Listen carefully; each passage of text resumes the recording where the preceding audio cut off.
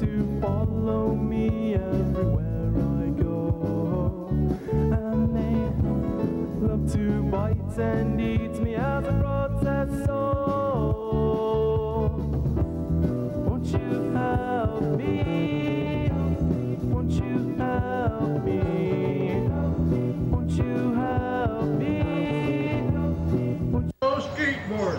You guys coming here jumping on the skate, skateboards on the benches and just tearing the benches up and stuff.